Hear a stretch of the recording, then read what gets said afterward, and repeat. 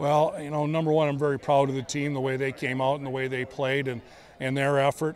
Uh, but I'm also very proud of our coaching staff.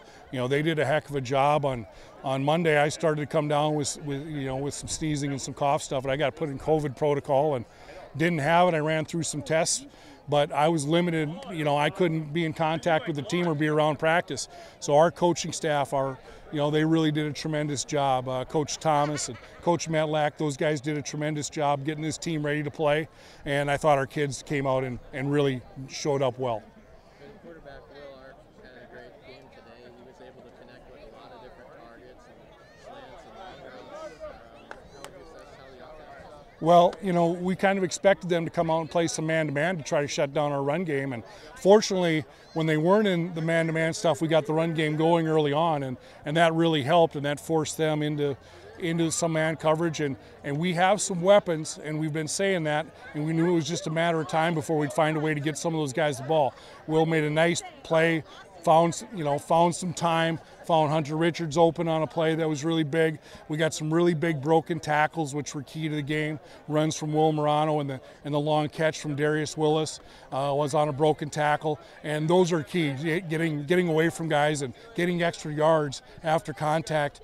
We talked about that a little bit and proud of our guys for doing that. And you're able to stop Davenport from getting any momentum, causing a couple of turnovers. Fred Kemp comes to mind with a couple of big plays. right How much did that galvanize the group? Well, you know, number one, they have good they have good skill people, and their quarterback's a very good cue. He can really throw the ball. You can see that if you watch, you know, watching the game that he's able to deliver strikes and throw the ball very nice, you know. But we were able to get good pressure on him, you know, and uh, and consistently, and just get him off schedule enough in the run game that we were able to bring that pressure. And and of course, it always helps when you get takeaways, you get turnovers, and and you create the opportunity to get a nice lead. That puts them in a little different spot where they can't be as patient and try to run it.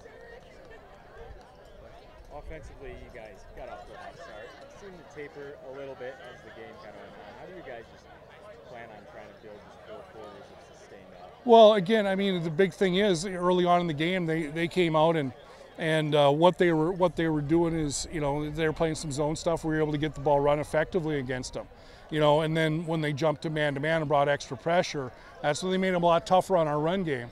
But that's also when we found some bigger plays in the pass game. And once we popped some guys, the big plays happen.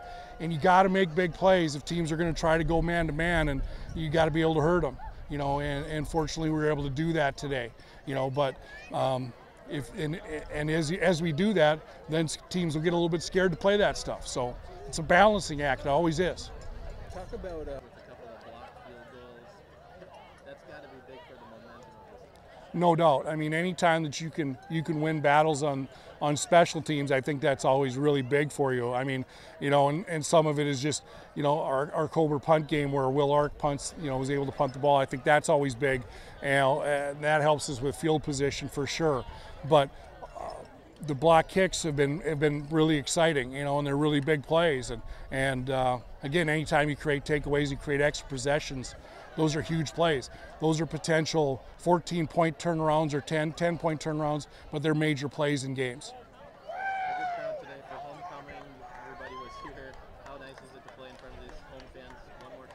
Well, it's always great to play here, and it was really nice to have the sun come out. You know, the forecast was that it was supposed to rain all day, and for the for the game, the sun came out, and here it still is. So, awesome day.